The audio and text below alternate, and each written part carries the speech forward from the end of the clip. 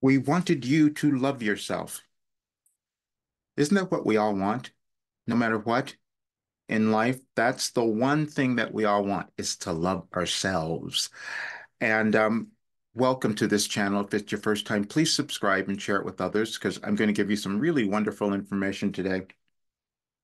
I'm using that particular title because it is the title of a message that I received on June 3rd of 2023. And I received it from my guide, Wilhelm. That's the consciousness that I channel and have been doing for many, many years. But I'm going to tell you a little more about it today. I'm getting ready to go to Colorado uh, next week, and I'm going to film an episode of Beyond Belief with George Noory. And I thought that is the best place for me to give this information because I want to give it to more people, because I want us to move beyond our disbelief of what we can accomplish in our lives or in the world. So that message is this.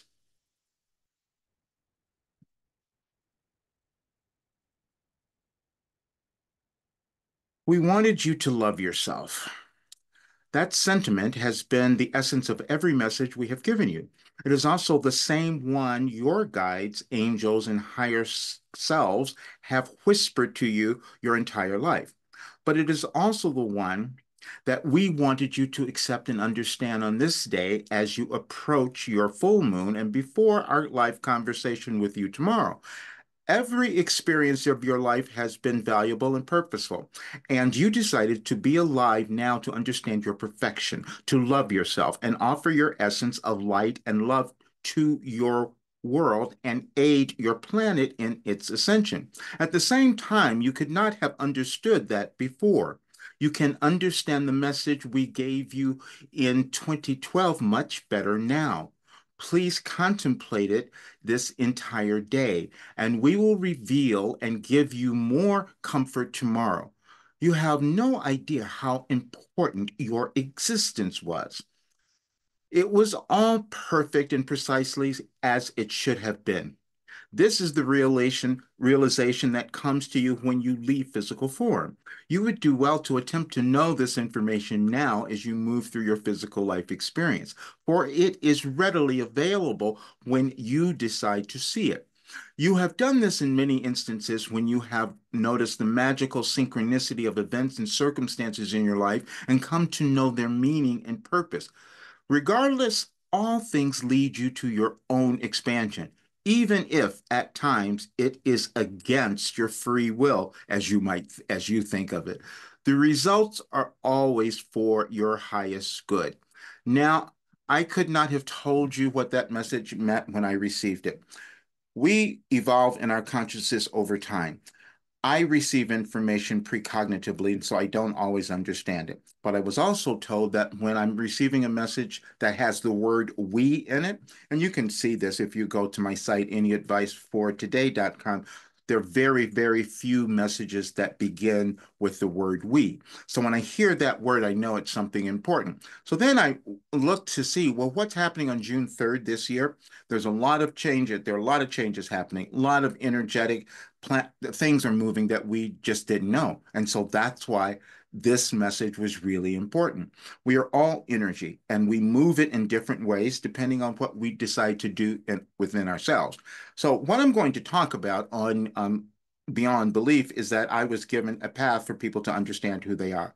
I couldn't have told you that was happening. None of us know who we're going to become as we live our lives. It's this venture that we take into who we are. And so I've been doing it for a really long time. But now let me explain why I can say this and how these things happen. First of all, I've also been told that, and you can go and check this on my site, anyadvicefortoday.com, because if you look up any astrological major event that has happened, Wilhelm gave me some information on that particular day, and it will help you understand it. Now, when I come to that those messages, though, it's always different.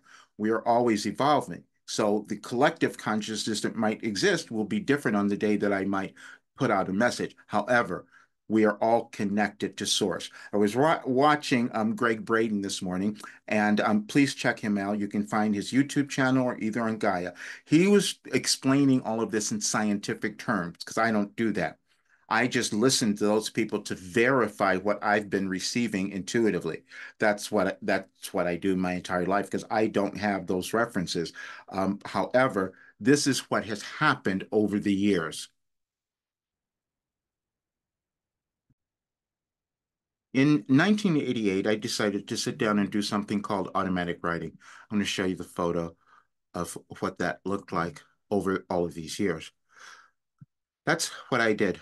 Every single day, I'm sitting down and I'm meditating and I'm receiving information. I'm writing it down. Don't know what I'm doing, but it's giving me guidance. It's giving me cosmic guidance that I didn't understand at the time. However, what it did was it completely changed my life over a period of time. I'm 73, and this is what I'm going to talk about. And after I watched Gregg Braden, he mentioned his friend, Dr. Bruce Lipton. And if you've ever watched um, um, Bruce, you would understand a lot more of this too. And he wrote the book, The Biology of Belief. Belief is all that we have, and we have to find that belief within ourselves. So, as I'm sitting and doing all those writings, I'm not going to tell you about it. For 20 years, I hit kept this hidden. I was moving through every difficulty, challenge, horrible thing, dark nights of the soul, as Gregg mentioned as well. Many times we go into these really dark, deep places of depression and anger and hatred, whatever it might be. Those are things that are within us. And that's an energy thing as well. So it's an individual energy that we each have, but then there's a collective one, meaning that every single person is doing the same thing. And then when you start to understand sciences, the quantum sciences or mechanics or any of that stuff, which we are just coming to understand, you start to understand maybe there is some connection to all of these things. Maybe there's some connection to the planets and the stars and when we were born and all of that. And those are the things that kept being revealed to me. And so as I'm thinking about what is happening in our world, because see, I knew what was going on because I was given this information. My guide said we were going to go through a restructuring. And the way that was going to operate is that each person was going to go through their ascension, meaning that you're going to be a little have to uncover your your your limitations, your restrictions, what you didn't believe about yourself, the fears, the the everything that you've had. Why aren't you confident? Why don't you feel empowered? Why don't you have everything that you want in your life? And it's always because we don't love ourselves. And loving ourselves is the steps are the steps that we take to becoming and uncovering our authentic selves. We have a unique DNA that exists within us, each person. And we've come to understand that because we can see it now. Even in sciences, we can see our DNA is not like anyone else's. And that's the problem. Because now we're trying to find what's my unique place in this world? Who am I meant to be? And why are these other people telling me I shouldn't be that person? This is what we move through. And this is what the world moves through as well. And so when I found out that I was going to Gaia, I thought that was really interesting because I've been hiding for so long. Why would why why is that happening? Now I'm going to be exposed to the world and I got to tell the full story. So that's why I'm doing it here. See, because my Wilhelm told me that they'd given me everything that any person could use to really transform their lives and live this great life and heal and move through trauma and do all of that stuff. And then as more people did that, then we would see a very different world. And then they said the only difficulty will be we won't believe it. And I can say that because it took me so long to understand what I even had. But then I started seeing, oh, wait a minute, it's doing something else. And this is the other thing I'm going to talk about. There are three things I'm speaking about on George um, George's show, and that's our individual ascension, meaning what we each move through, our fears, our doubts, our insecurities, and then how do we then develop? That's personal development or self-actualization. But then what if we can understand that we exist for a greater reason, a greater purpose, that maybe we are ascending to a higher state of understanding. And if more of us do that, maybe the rest of the world would do that too. And we would see something very different than what we're seeing now. That's the information I was told and I've written it all. And if you go to my website, rogerburnley.com, you can read all of the articles going back to 2016, because that's when it was really apparent to me the changes that we would be experiencing in the world. And Wilhelm says, You've got to do something because you have information. I said, No, I can't do that. So I'm going to hide out for a little while longer. That's what I did. You're going to judge yourself and doubt yourself because there's something more within you that you have to get to. And if you don't do that, then you start to experience these difficulties in your lives. And I can say this because I've done it for so long, but that also what gave me the ability to figure out techniques and practices that I can give to others, but they don't have to do it. But I still doubted as well. But then when I went to see things are lining up, because Wilhelm said in the channeling session, if you go back to 2023 and follow along, we've given you um, information on those dates that would make sense now. I said, okay, well, let's see what happens. So I'm I'm traveling out on um, June the 6th. So I thought, well, okay, if that's true, what did they what did you give me on June the 6th of 2023? And how would it be relevant to what is going on now? Why am I on a plane that day? Only to discover it's a new moon and it's a time to really start putting new things in place. That's all of us. The energies that happen during a new moon give us an opportunity to create something new and different in our lives so that we can live the way that we want or experience something different than what we have. So I went to look, and this is what I found about that day. This was the message.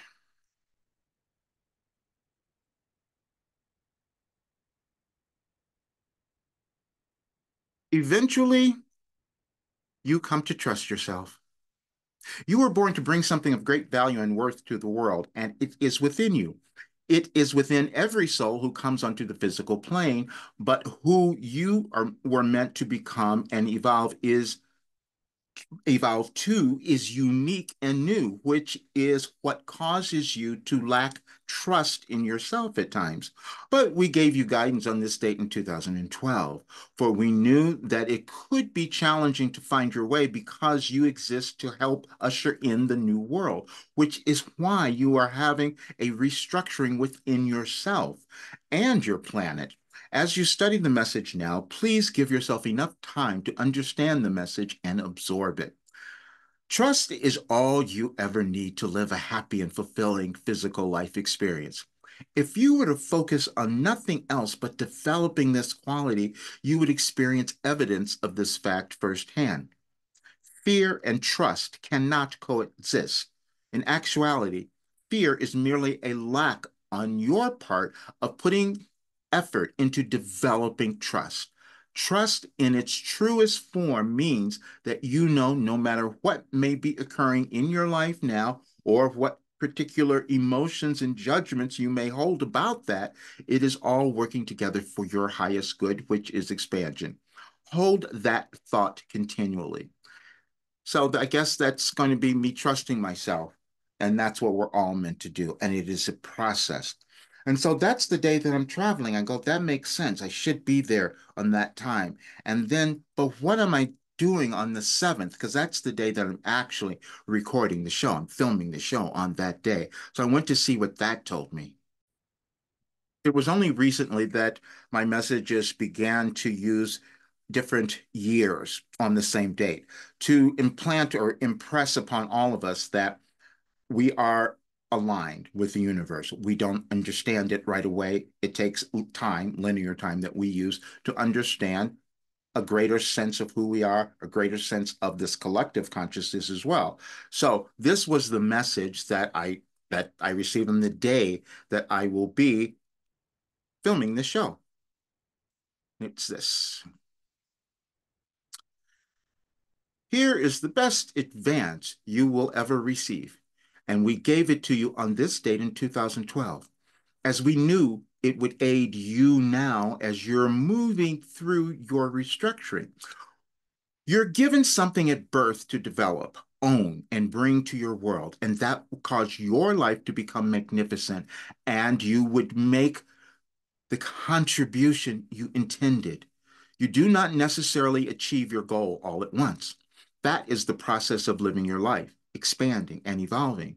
There are times when you decide to offer your essence, which means moving through your old limitations. If it would be most helpful to your evolution and planet if you did that now. Please study the message we left for you, and we will continue this thread until our live conversation with you this Sunday. You have a tremendous amount to offer now.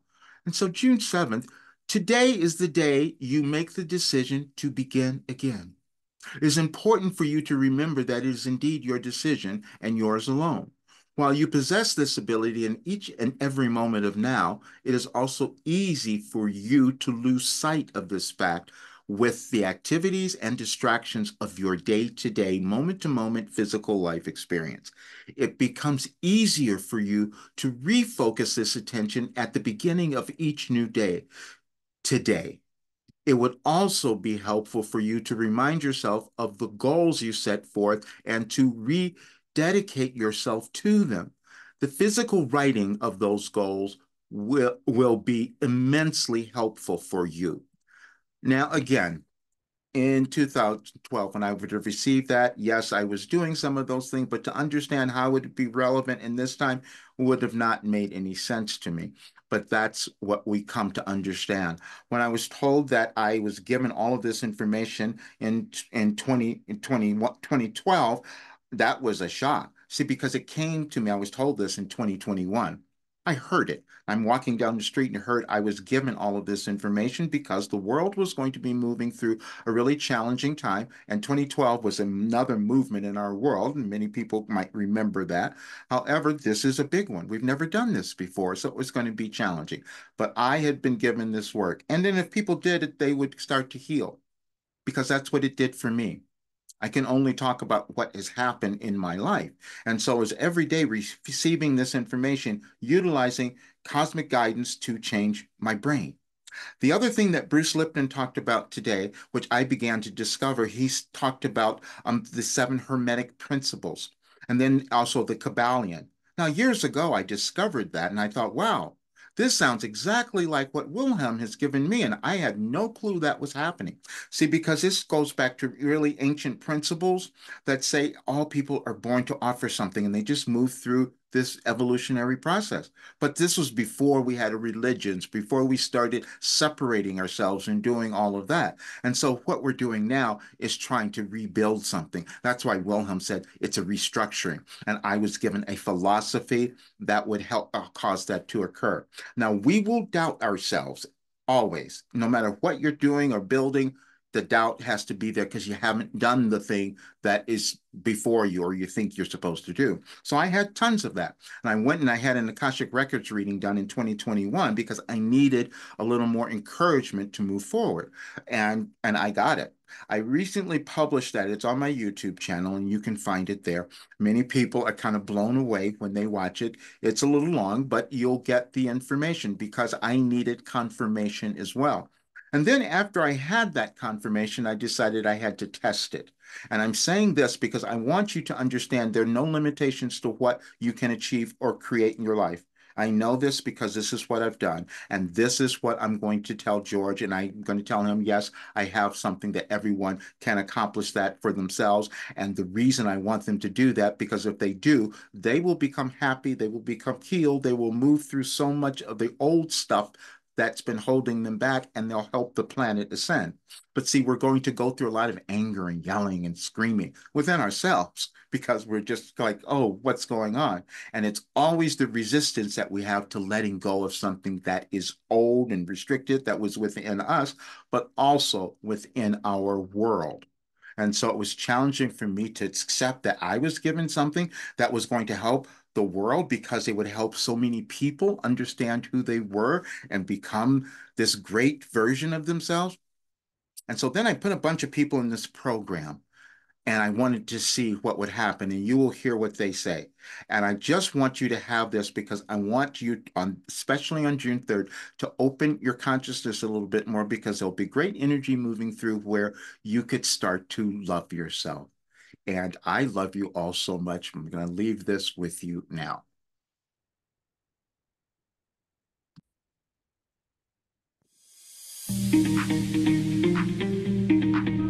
I find this work is very powerful. They change a lot very quickly. Mm -hmm. It's like quite surprising how things are changing for me. I want to say how grateful I am that you've done this.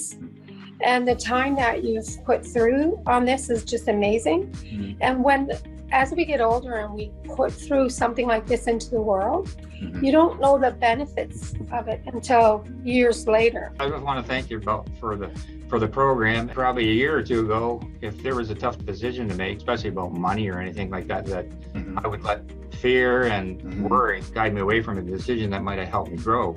I have moved. I have I have made some positive changes. Hey, good, bad, or ugly, you did it. That's the main thing when you say the time is now and i always appreciate it because now more than ever i feel a little bit more satisfied myself because um, especially lately i keep leaving um, a project not finished. I love the program. I love the questions.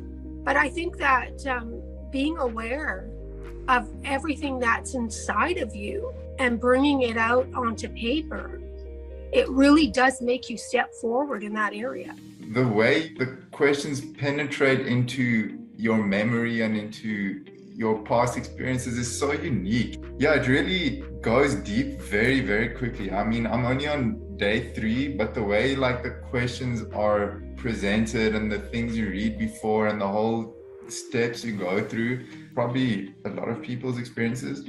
But it goes really deep, really, really quickly. I mean, every day has its has its difficulties, but like it's better than it was. You know, I mean, I'm doing more things that I enjoy and like I find that I personally feel like I'm meant to do my book and everything. And then um, with the acting, I'm working on all that. I've been taking so much courses like especially with this pandemic i you know approach diverse different uh, from tony robbins from uh, bob proctor from jack canfield and also i've been following abraham hicks but never really brought me the result that I wanted to to do it. So I'm I'm, I'm very, I mean, this course is very more. I, I found that it, it's I think it's a bit faster. Um, Roger, I just wanted to say thank you again because a few years ago I realised that voice coaching wasn't the only thing that I could do, and that I had something else. I, but I had I didn't know what it was. I had no idea what it was. Yeah.